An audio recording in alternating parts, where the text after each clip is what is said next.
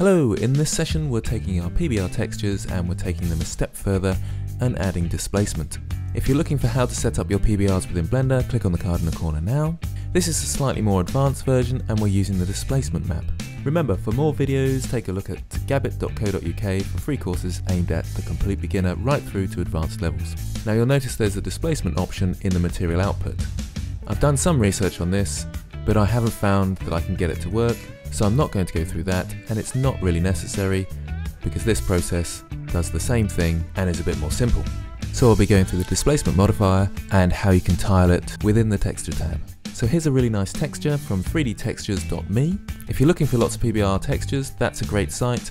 And click on the card in the corner because I've got six great sites for you in that video. So here's the downloaded file and often you have a displacement texture as well as your color, normal and roughness. I'm not going to go through the occlusion, it doesn't make a lot of difference in this case.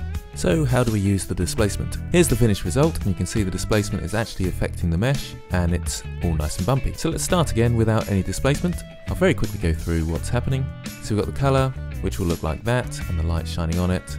The roughness will make a fair bit of difference to how glossy it is, and this texture has a bit of water in it as well. And then the normals make a bit of bumpiness, which is great, but you don't get that really realistic bump, which actually changes the mesh, which is called a displacement map.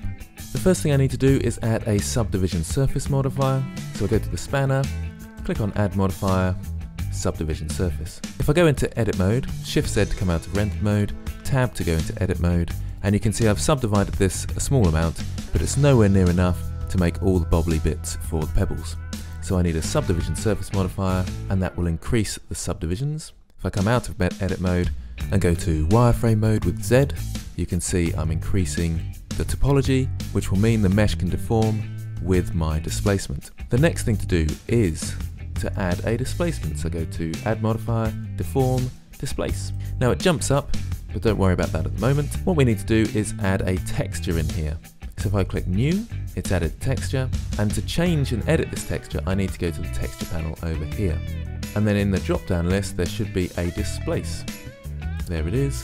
Click on open, or if you've already dragged it in, which I have into here and deleted from my node editor, you should be able to find your pebbles displacement. And you can see instantly it changes the mesh. If I go back to rendered mode, Shift Z, it's displacing it a great deal. So let's go back to our modifier under the modifiers panel and change the strength down. And I'm going to type in 0.1. That's not bad. It's still a bit blocky, so I need to turn my subdivision surface modifier up one, and that's looking great. You can see all the mesh working in the background.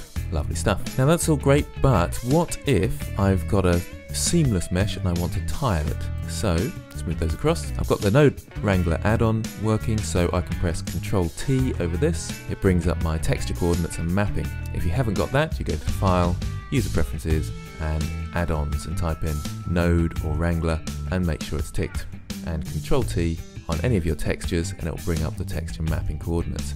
This way I can tile it by pressing 2 in the X and Y, don't need to do the Z, and you can see it's tiled the colour. Let's just quickly hook that up to the roughness and the normals, which is great, but my displacement isn't tiled. So what I need to do to tile my displacement is go back to the texture for the displacement and come down here to the image mapping and press 2 and 2 for repeat.